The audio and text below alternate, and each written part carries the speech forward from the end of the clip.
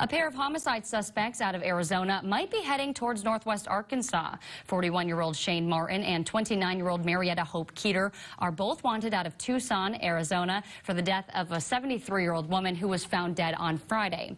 Martin and Keeter both lived in Carroll County, and Arizona authorities believe they could be heading back here to northwest Arkansas. If you see them, make sure you contact police.